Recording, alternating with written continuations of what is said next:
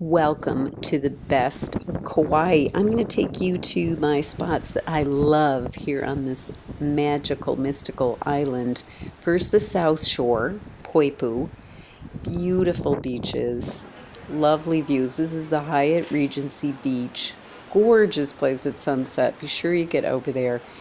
And then we go to Waimea Canyon. There's rainbows here e either early in the morning or sunset. Great time to go. Allerton Garden Gardens. It's a tour. And then we are going to Kee Beach. This is the crown jewel of the world. This beach is so beautiful. I love it.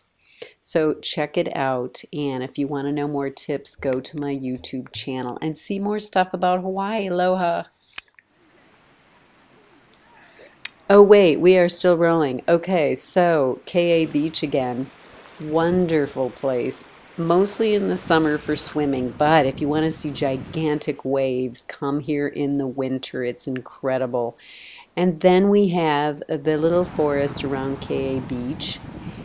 And back down to the south side, beautiful place to see the sunset at Poipu and a good place to swim to, not where these rocks are, but just beyond at the Sheraton Beach and you'll love it. And then we go back up to the North Shore to Princeville is right here to see this beautiful view. I love it. And then we end at the sunset at Kee Beach. Beautiful place. Aloha joy.